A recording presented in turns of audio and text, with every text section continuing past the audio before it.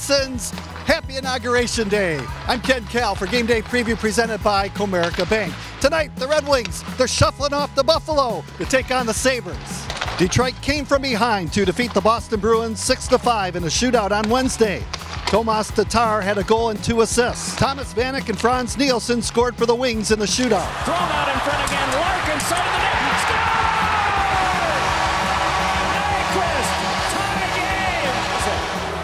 must score.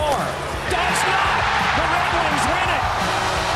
Henrik Zetterberg and Thomas Vanek lead the team in scoring with 31 points. Detroit has 46 points on the season. They're six points behind the second place Senators and third place Boston Bruins in the Atlantic Division.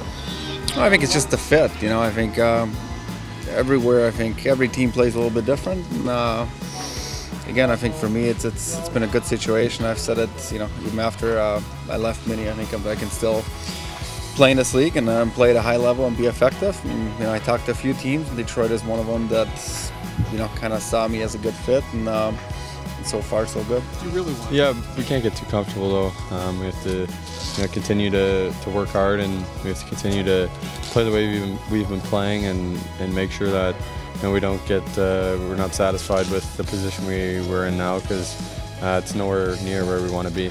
Also, fans, there's a good chance that Darren Helm could be in the lineup tonight. Yeah, I'm excited. It's been uh, it's been way too long. Um, just watching every game and you know feeling like I can be out there, be part of the team, and uh, you know obviously that's what I want to be doing. So uh, excited to finally get an opportunity to get back out there and looking forward to it. The Buffalo Sabres, they dropped the 4-3 decision to the Toronto Maple Leafs in their last outing. Anders Nilsson will be between the pipes for the Sabres tonight. Kyle Okposo leads the team in scoring with 29 points.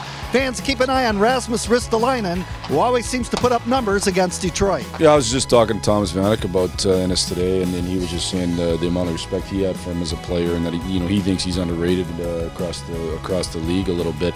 Um, you know, I've known Tyler a long time uh, as a just from afar, uh, and had lots of respect for his game. You know, he brings speed. He also brings lots of creativity, lots of vision. Just a real good offensive player who, who seems to be complete. So certainly, you know, he's a guy they've been missing that I think brings lots to their lineup. Puck drop tonight is at 7 p.m. You can watch the game on Fox Sports Detroit with Ken Daniels and Mickey Redmond or on the Fox Sports Go app.